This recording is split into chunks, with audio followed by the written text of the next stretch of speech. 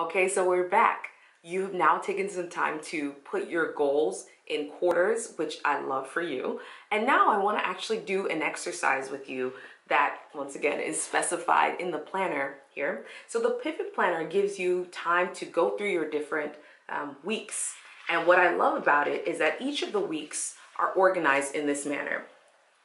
Each of the weeks will ask you, what are the top three things that you want to accomplish for that week? I do it that way because once again, I'm all about focusing your energy, your resources, and your efforts. So if you know that your overarching goal for the quarter is a specific thing, your micro goals for your weeks should support that. So let's say this is the quarter where it's all about self development. So um, perhaps one of my mini goals for my week is to finish module one of my Excel class that I'm taking, right? Or maybe it's to make sure that I have um, studied my materials at least once a week or maybe three times a week, whatever that is. And I put my goals there. These micro goals are really supporting that big goal that I have for my quarter. And then here we also have habits on the side. Habits, this is your way of tracking what are the things that you should be doing that would help support you being healthy and effective at these goals that you're working on? So let's say you're taking these courses. Well, maybe it's helpful for you to sleep on time. Maybe you want to go to sleep before 11 p.m. Maybe you want to drink more water. Maybe you find that when you walk in the mornings, you have more clarity and you're less grumpy. Put those habits down there. All of these habits are supporting you in becoming the best version of yourself. And then your days will just be kind of um, written out. What did you do? You want to be able to look back and account for your time. Did you waste it? Did you um, use it effectively? Did you find time to have rest? I put on here, uh, you'll notice that Saturday and Sunday are actually merged together. I'm a big fan of finding rest on the weekend.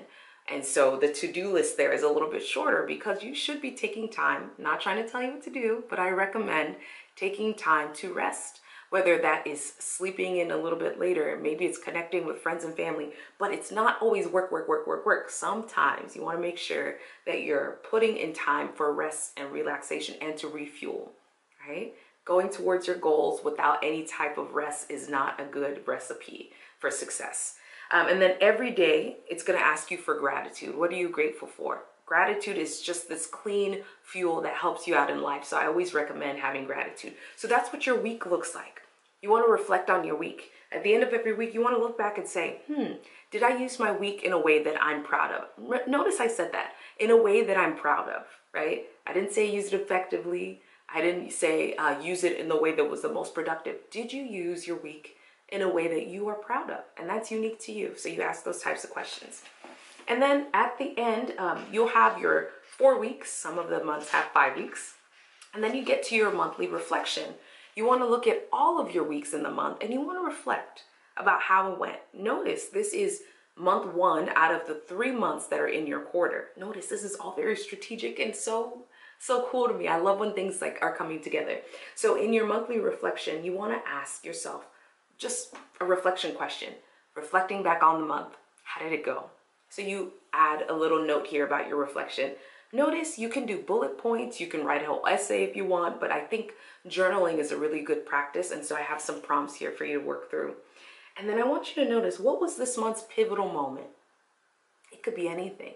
Um, for example, um, I had an event at work and someone said, Hey, you're such a great presenter. I love the way you presented the information. That was just so great.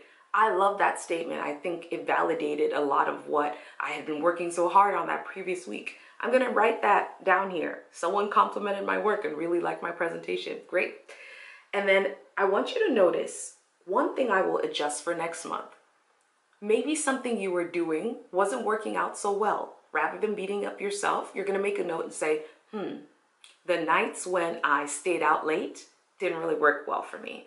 The nights where I was um, going out to eat all the time didn't really work for my budget. So you want to just make a note. What will I adjust for next time? What will I do differently?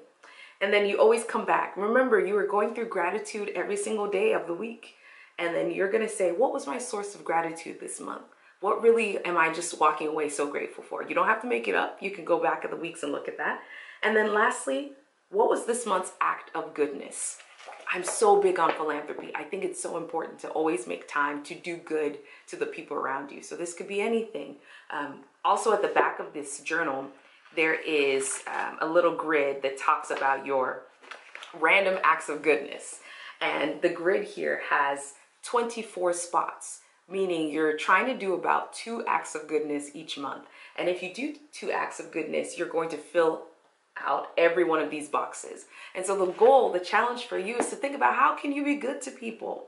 It's not always going to be monetary. Think about love languages. Some people's acts of service is, you know, you did something nice for them. You babysat for the kids. You got them, picked up their groceries one day. Uh, maybe it's words of affirmations.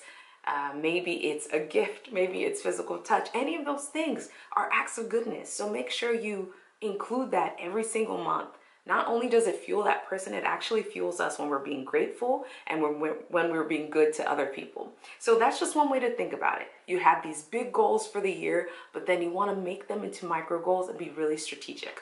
Let me know what you think in the comments below. How are you going to attack your goals this year, this week, this month? Let me know.